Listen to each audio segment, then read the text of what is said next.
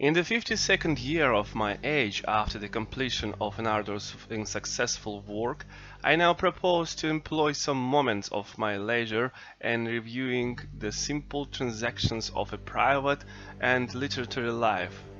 Truth, naked and blushing truth, the first virtue of some serious history must be the sole recommendation of this personal narrative. The style shall be simple and familiar, but style is the image of character, and the habits of correct writing may produce, without any labor or design, the appearance of art and study.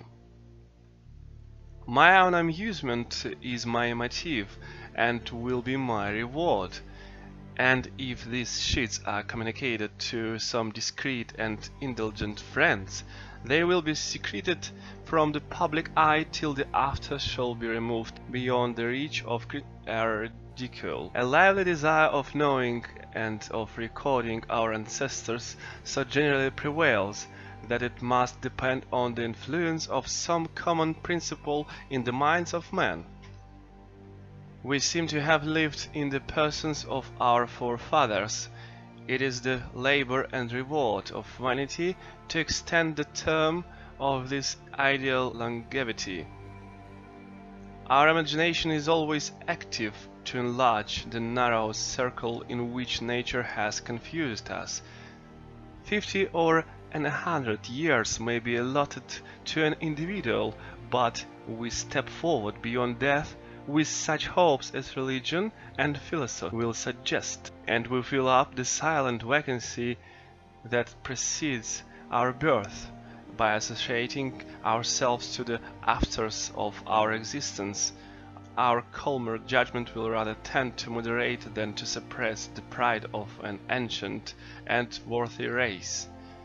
The satirist may laugh, the philosopher may preach, but reason herself will respect the prejudices and habits which have been consecrated by the experience of mankind.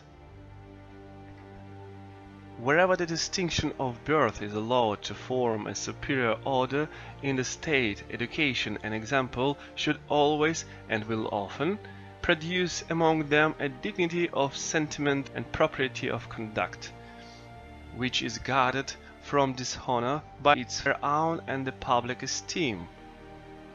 If we read some of illustrious lines so ancient that it has no beginning, so worthy that it ought to have no end, we sympathize in various fortunes, nor can we blame the generous enthusiasm or even the harmless vanity of those who are allied to the honors of its name. For my own part, could I draw my pedigree from a general, a statesman, or a celebrated author, I should study their lives with the diligence of filial love. In the investigation of past events our curiosity is stimulated by the immediate or indirect reference to ourselves, but in the estimate of honor we should learn to value the gifts of nature above those of fortune to esteem in our ancestors the qualities that best promote the interest of society, and to pronounce the descendant of a king less truly noble than the offspring of a man of genius whose writings will instruct or delight the latest posterity. The family of Confucius is, in my opinion, the most illustrious in the world. After a painful ascent of eight or ten centuries, our barons and princes of Europe are lost in the darkness of the Middle Ages.